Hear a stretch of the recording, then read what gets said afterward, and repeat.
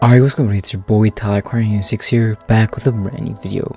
And this video will show you guys an insane way to get unlimited amounts of money doing this quadruple money and RP uh, money method right here. And the best part about it is that it's completely solo and there are no requirements at all, meaning every single person watching this video will be able to do it right now and make yourself millions of dollars and level up in no time at all. First, here's a quick word from today's sponsor, Aurora Resupply. If you guys are looking for a cheap, fast, and reliable way to getting GTA 5 modded accounts and boosting your accounts, make sure to go check them out. There's gonna be a link to them down in the description below. Now starting off the video, what you guys want to do is go ahead and press options, go to online, quick join, play job, Rockstar Created, head on over to adversary modes after that. If you guys are in adversary mode, what you guys want to do is go ahead and start up any one of these cross the line missions that are quadruple money and RP right here. So for me, it says that there, there was no adversary mode, mode found and that I'm to join a random person's one, which is completely fine if you guys are doing it solo, which is what you guys want to do.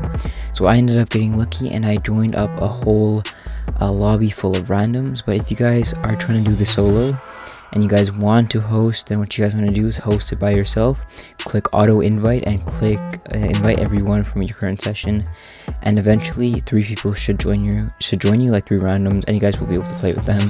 But yeah, even if you guys are playing the solo or with friends, this is an actually pretty fun game mode. And essentially, how it works is that there's two different teams, and there are two different like kind of touchdown areas or like like the lines pretty much and what you guys want to do is get your whole entire team to cross the line right here. So you want your whole team if you're on blue team you want to cross the red line. And if you're on red team you want to cross the red uh, blue line.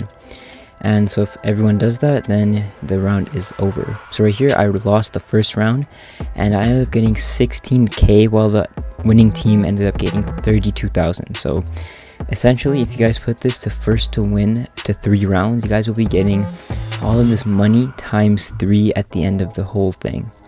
And so yeah guys, as you guys can see, this is honestly a pretty fun and insane way to get a ton of money and I definitely recommend you guys go ahead and give it a try because on Thursday it is going to be completely gone and you guys won't be able to do it anymore. So you guys are in the video. If you guys enjoy, make sure to drop a like and I'll see you all in the next one. Peace.